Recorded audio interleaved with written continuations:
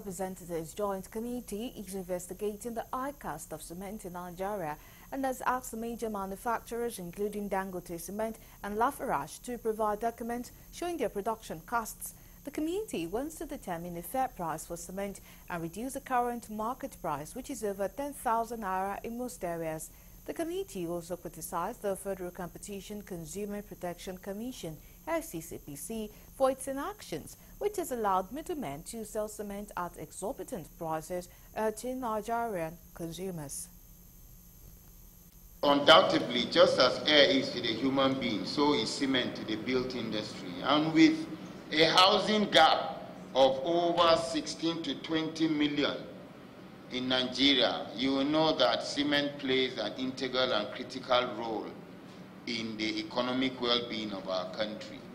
I was reading somewhere today, and the Minister of Housing said that the Nigerian people will be needing at least 5 trillion annually to address the housing shortages.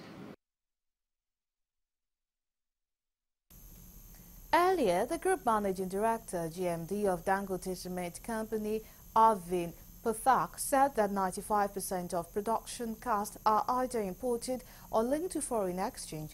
He explained that there had been between 100 to 333% increase in the price of major cement input materials like gas, AGO, gypsum, imported coal, spare parts, new trucks, tires, petrol, among others.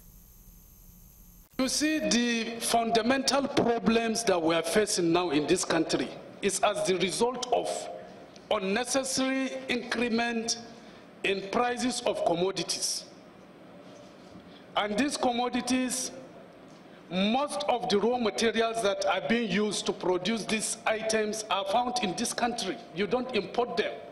For example, like the cement, it constitutes about 75 70 to 75 percent of the uh, uh, material you use in producing cement. Yes, check. Then other things. But here we are today. Nigerians are very angry youths. Our AGO prices have gone up by three times, 2.3.33. Our gypsum cost has gone by almost 3.23 times imported coal has gone up by 2.33 times. Spare parts almost the same because they're linked to the dollar pricing.